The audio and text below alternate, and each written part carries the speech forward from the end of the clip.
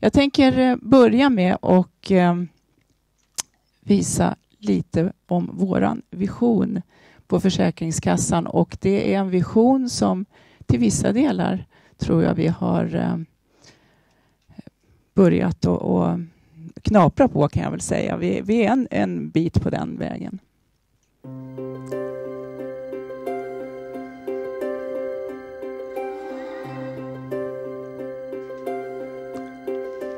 Ja, magen började synas ordentligt och det var lite pirrigt. Eh, vi visste ju att livet skulle förändras, men hur? Eh, ja, det var rätt svårt att greppa. Det är klart vi var lite oroliga. Vi ville vara hemma så mycket som möjligt och hade inte så bra koll på hur det skulle påverka vår ekonomi. Vi läste jättemycket. En favorit var Föräldraforum. Och där fanns också Försäkringskassans kundtjänst om föräldrafrågor.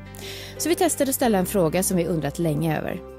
Hur funkar föräldrapenning för sådana som oss? Och då framförallt för mig som frilansar och har oregelbundna inkomster. Jag blev verkligen förvånad över hur många frågor som var relevanta för oss. Och vilka bra svar. Det är så himla schysst att Försäkringskassan är här och svarar på frågor. Ja, och så fick vi svar efter en liten stund och ja, det var så enkelt att få svar på den här frågan som vi gått med så länge. Och så rekommenderade de eh, familjestödet. Familjestödet var en slags kalender. Man skulle fylla i lite uppgifter. En hel del var redan ifyllt, för de hade fått uppgifterna från Skatteverket, så det var smidigt. Och så blir det ju rätt också, sånt där kan ju lätt bli fel annars. Och sen kunde vi se vad vi behövde göra framöver. Det var jätteskönt. Nu så slapp vi oroa oss över att vi inte hade tänkt på allt. Ja, och nu var det alltså rätt tid att börja planera föräldraledighet. Vi kunde snabbt se vad vi skulle få i föräldrapenning. Så vi testade och såg att vår ekonomi skulle klara av att vi var lediga så länge som vi tänkt. Och så gick vi vidare och planerade hur vi skulle vara lediga. Det kändes bara så himla enkelt.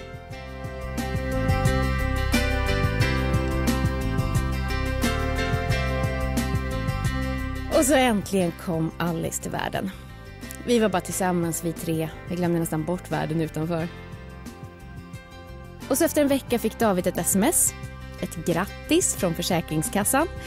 Och en hälsning att han skulle höra av sig när han började jobba igen. Och tala om hur många dagar han ville ta ut ersättning för. Och jag fick svar på min ansökan om föräldrapenning. Så det var bara att fortsätta vara i den där bubblan. Allt bara löste sig.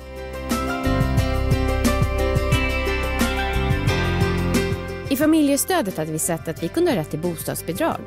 Så David satte sig för att kolla upp det där. Ja, men det var tydligen väldigt enkelt. Eh, David är ju helt okej okay på svenska men när det kommer till myndighetskontakter så blir han lätt lite osäker. Och då såg han att man kunde få support direkt via video och att man kunde välja språk. Så han valde spanska. Det är sån himla bra service. Det var ju hur lätt som helst för honom att göra det där. Annars brukar alltid jag få sköta sånt. Ja, sen när jag var ute med Alice på promenad så fick jag ett meddelande från Försäkringskassan. Det var ansökan om bostadsbidrag som David hade blivit klar med och som jag bara behövde signera. Och sen var det bara att skicka. Ja, det där var ett tag sedan. Nu så har vi två barn. Så det är fullt upp med dagis och med jobb och allt praktiskt. Så nu så har vi stor nytta av Försäkringskassans familjevy. Vi har bra koll på vabbdagar och föräldradagar och sjukdagar och har en bra känsla för hur ekonomin påverkas. Och så ibland så blir det lite förhandlingar om vem det är som ska vabba men då ser vi enkelt hur vi ligger till och vems tur det är. Ja, men det känns som att Försäkringskassan verkligen fattar hur man har under de här åren. Att de vill göra det lättare för oss. Det känns som att Försäkringskassan står på vår sida helt enkelt.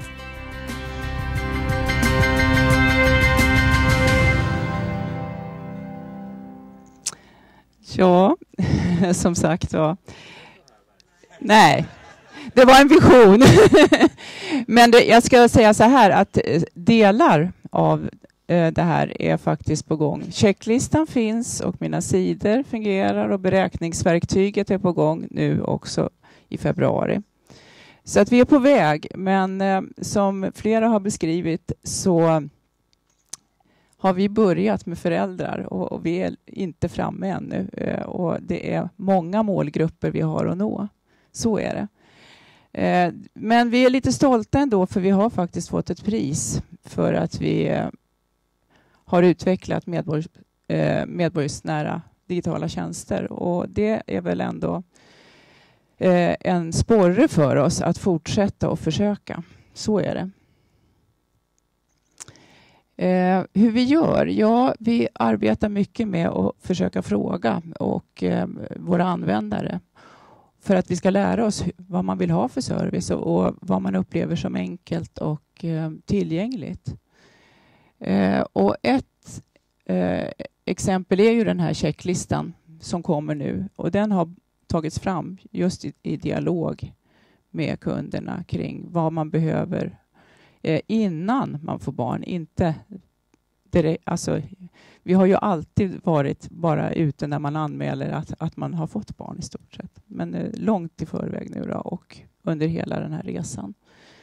Så det är ett exempel. Eh,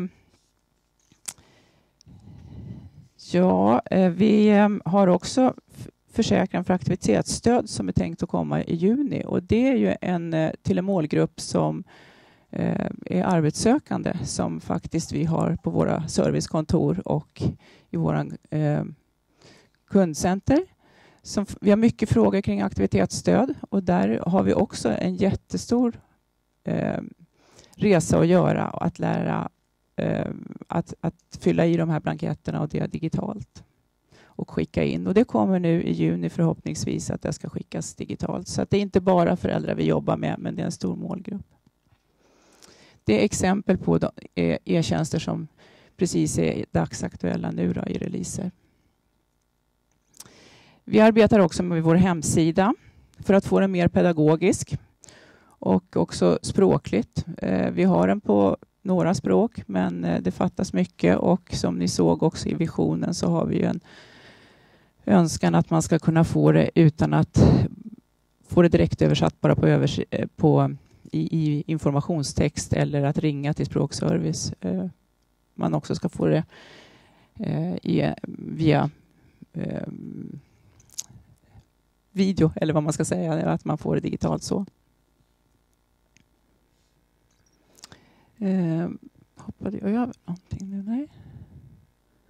Eh, ja, hur vi jobbar eh, på servicekontoren. Vi jobbar ju i personliga kontakter på servicekontoren och vi jobbar i våran kundcenter i varje möte kan man säga och visa på det här är tanken i alla fall och, och, vi är inte framme där heller naturligtvis men vi jobbar på det och vi har eh, jag kommer lite till exempel som vi jobbar på servicekontoren då. Men eh, jag vill berätta lite. Jag kommer ju från lokala kontor och vi ligger under en, ett verksamhetsområde på Försäkringskassan som heter kundservice. Där finns våran kundcenter och där finns också en avdelning som heter kundfrågor som jobbar med blanketter och, och hela den delen för att förenkla. Eh, självbetjäning och det är ju Gunilla Dyrhage som egentligen skulle ha varit här idag eh, som jobbar på självbetjäning och jag jobbar på lokala kontor då alltså och har servicekontor. Men vi har ju också en, eh, vad ska jag säga, en grupp generalister som är ute och tar bokade besök och eh, även är ute på biblioteken och har haft eh, informationer tillsammans kring det här med Digidel. Eh, Eh, vi samverkar ju som sagt på servicekontoren. Eh, det är tre myndigheter, Pensionsmyndigheten, Skatteverket och Försäkringskassan.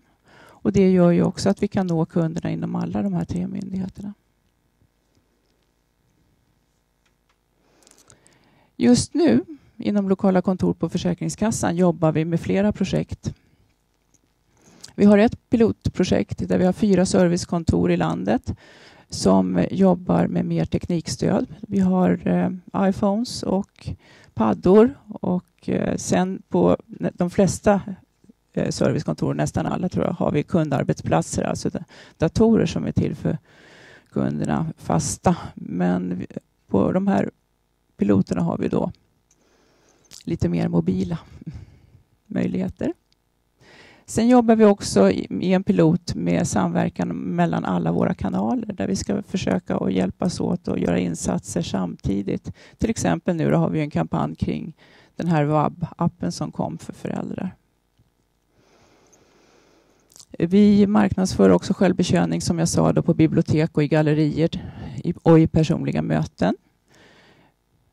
Eh, I, det dagliga arbetet, som jag sa, på servicekontor och eh, Sen tittar vi och försöker mäta då var våra kunder har problem någonstans och var vi ser att de eh, har lätt att ta sig in. Alltså, är det mina sidor? Är det checklistorna? Är det, ja, och var återkommer man med frågor någonstans?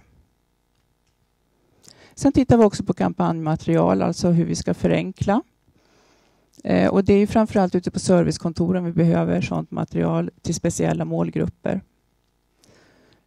Just nu har vi små foldrar kring det här med eh, mina sidor och checklistor och vab-appar. Och ja, det, det, är faktiskt inte bara en app för föräldrar utan det är ju, man kan också se andra förmåner, en del andra förmåner på mina sidor.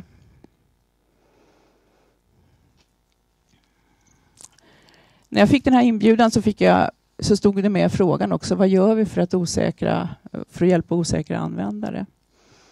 Ja, våra vägar är ju eh, det här att vi jobbar på vår hemsida, att man ska få hjälp där och bli lotsad och eh, att den ska vara enkel och lätt att förstå. Vi jobbar på kundcenter och har både för partner, alltså arbetsgivare och den delen, och inte bara för privatpersoner.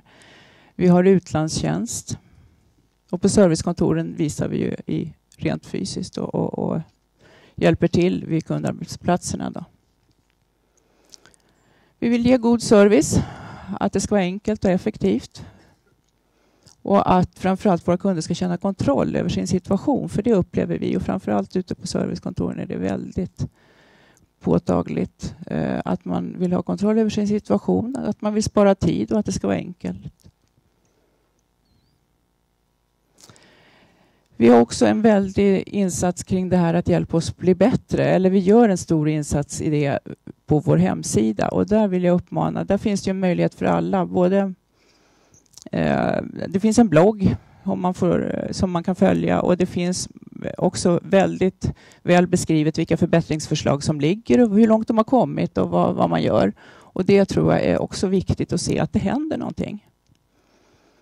Så det tycker jag är någonting att ta med sig.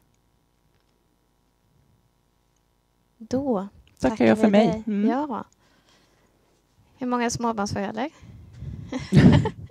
Och ni känner inte Tack. igen det alls? Eller?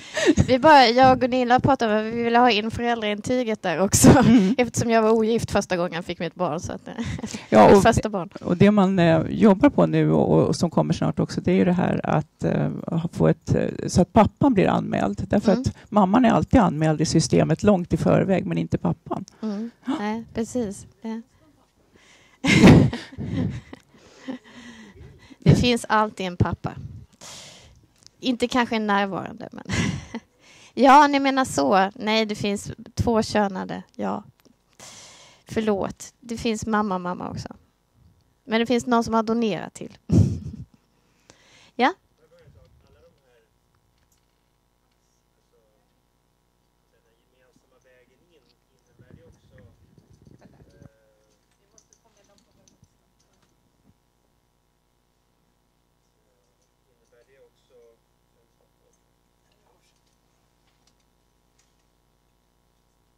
Innebär det också eh, informationsutbyte mellan myndigheter? Att det blir eh, att man arbetar på det också? För där ligger väl ganska hårda gränser va? mellan vad man får, vilken slags information man får utbyta mellan myndigheter. Det är en av de stora uppgifterna som vi jobbar med eh, i E-delegationen, hur vi ska se till att den här informationen blir, att utbytet blir smidigare eh, utan att vi bryter sekretess regler eller integritetskränkande regler. Eh, men det finns mycket man kan göra, både inom nuvarande lagstiftning men också håller man på att titta över det, eh, hur lagstiftningen ska utformas i framtiden också. Så ja, det är ungefär det vi sitter och pratar om varenda dag på kafferasten, hur vi ska lösa det. Så. Där kan det ju vara så, vi tittar också på det, att medborgaren äger informationen och eh, till exempel om man söker ett ekonomiskt bistånd att eh, jag som privatperson godkänner att handläggaren går in och hämtar mina uppgifter från olika myndigheter och på så sätt kan man ju också eh, gå en bra bit mm. framåt. Mm. Mm.